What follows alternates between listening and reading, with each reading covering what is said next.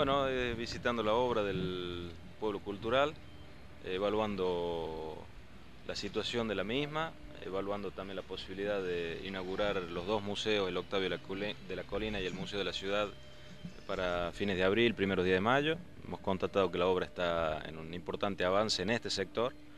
y bueno, lo más probable es que en esa fecha estemos ya inaugurando, dejando habilitada esta, esta parte de esta importantísima obra en la ciudad capital de Rioja. Es lo que recorrimos, digamos, es este casi medio manzano de, este, gran, de este manzano que, que hace al pueblo cultural. El resto de la obra, ustedes pueden ver el avance, se está trabajando ya en la estructura de lo que van a ser los cines eh, y estamos prestos a empezar a iniciar la demolición de lo que era el edificio antiguo histórico del SOEN, donde se va a transformar también toda esta zona, ayornándola a lo que planteamos como, como pueblo cultural. Cabe aclarar que inmediatamente iniciamos los trabajos para construir un edificio nuevo, acá aproximadamente 200-300 metros de,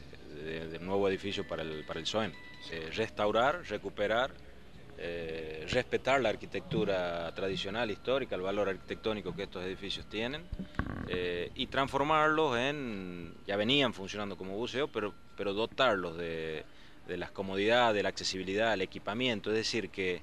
que sean eh, espacios apropiados por la comunidad, por la gente que vive en La Rioja y por el turismo, como, como se construye un teatro,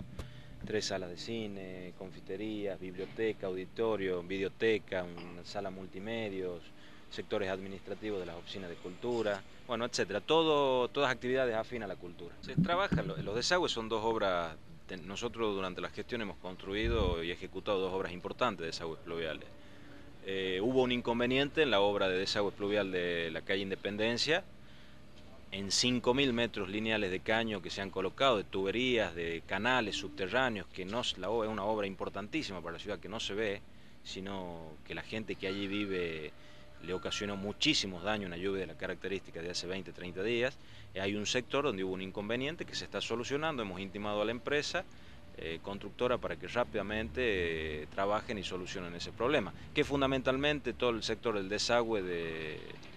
del acceso a la cancha de fútbol de los veteranos, donde se ha visto sobrepasado por la cantidad de agua que cayó. Y deberían consultarle a vivienda. Nosotros lo hemos dicho hasta el cansancio. Aprovecho, lo vamos a decir nuevamente, hace una semana hemos sacado una nota de media página en el, diario Independiente en los medios locales explicando la situación de esa obra. El municipio es responsable desde en Avenida Ramírez Velasco, desde Cabo Primero Rodríguez hasta Las Padercitas todo el resto, lo que hace al Yacampe, a, Cabo Primero Rodríguez, hasta el Indio, y la obra del Yacampe sí no la ejecuta el municipio, la ejecuta el Promeva a través de vivienda de la provincia.